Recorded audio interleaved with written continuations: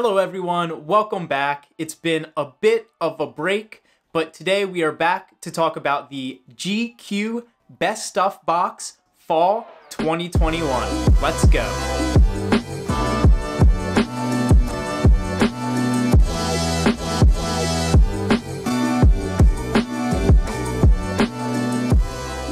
So, what is the GQ Best Stuff Box?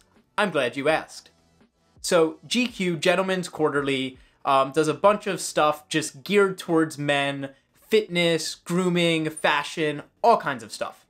So they got together and they decided to do a quarterly subscription box. So it's one for each of the seasons fall, winter, spring, summer. Generally, each box contains one big ticket item.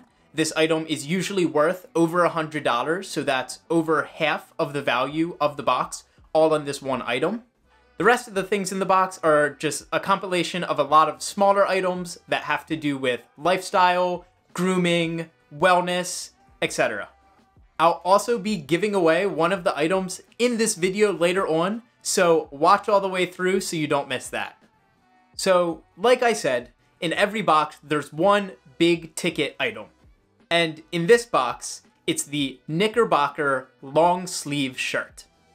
It's actually the shirt I'm wearing right now in this video, and there were three color choices, and I chose to get it in the blue, navy, whatever you want to call this color. So, as far as this shirt, the Knickerbocker long sleeve tee, how is it? Honestly, pretty disappointing. And as far as this shirt goes, so when I first like got it, tried it on, I hated it. This is mostly just because the the quality of the shirt doesn't feel great. It feels very thin and just not that premium. And with that in mind, I cannot see a world where someone pays willingly $105 for this shirt.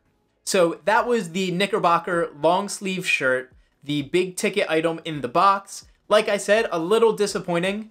Let's get into the next category of items, which is grooming and personal care. So First up in the box is the Geologie Everyday Face Wash. So it's just a normal little face wash. Uh, I've never heard of this brand before, but it's an everyday face wash with 2% salicylic acid. So what that is going to be good for is any blemishes or impurities in your skin. Um, you just wash with this a little bit and it'll kind of help you get clear and balanced looking skin. Next up is the Ralph Lauren Ralph Club cologne. Ralph's Club is a warm, rich scent with notes of lavandin, a more natural herb smelling relative of lavender. So just lavender, sage, and cedarwood, all housed in a sleek gunmetal bottle ready to class up your bureau. Next, we have the Wolf Project face masks. These are great for opening up your pores, clearing your skin out, um, and just giving you a really fresh and vibrant look.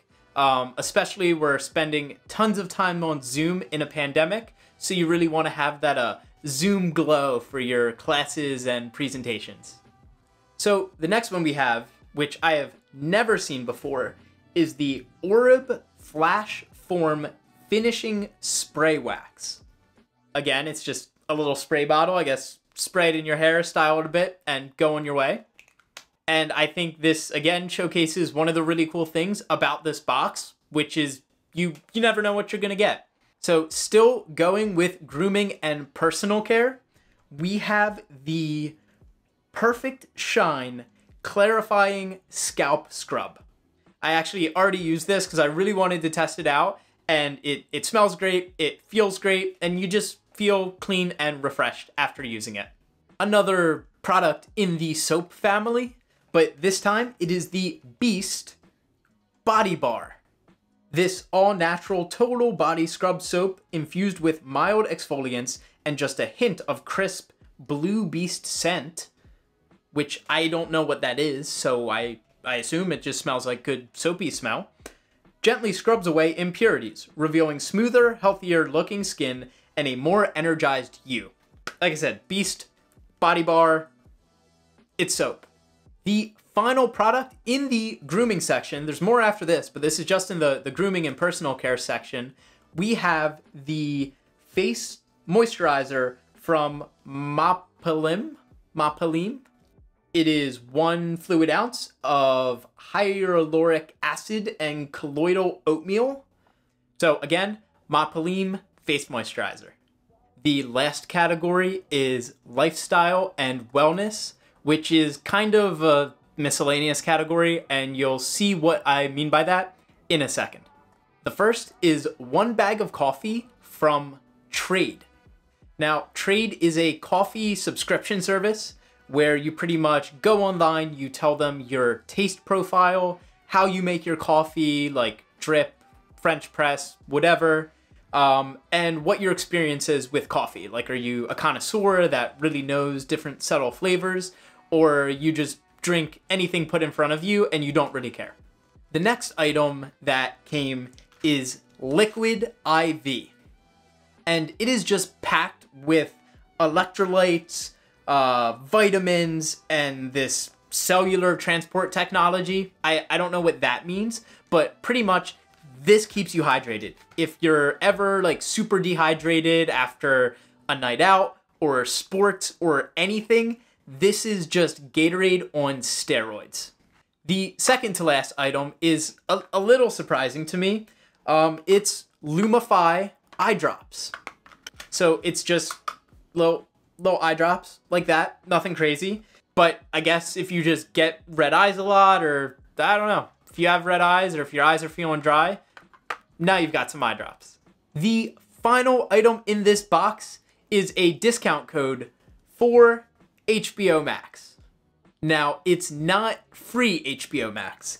It is 25% off your first three months. And this is fine, but these type of items are actually the ones that I, I kind of despise the most in these subscription boxes. Because, yeah, they're telling you that you get a discount or they have some dollar value. In this case, it's $12. But you never see that value unless you buy the product and spend money to get it. I don't like that. Like, this stuff, you're already paying to get the box. You should, everything you get, you should then have. You shouldn't have to spend money or pay fees or random stuff on top of it. So that was everything in the fall 2021 box. And I just wanted to take a second to kind of give my thoughts on it and rate it compared to the other ones that I have received from GQ. The biggest letdown, which I've already said, was the Knickerbocker long sleeve t shirt.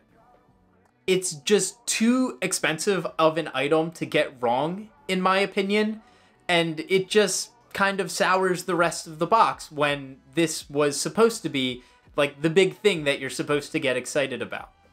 So finally, on a scale of 0 to 10, where 10 is this is dope, you have to go buy this right now, and 0 is this is awful, I'm canceling my subscription, I have to give this box a 5.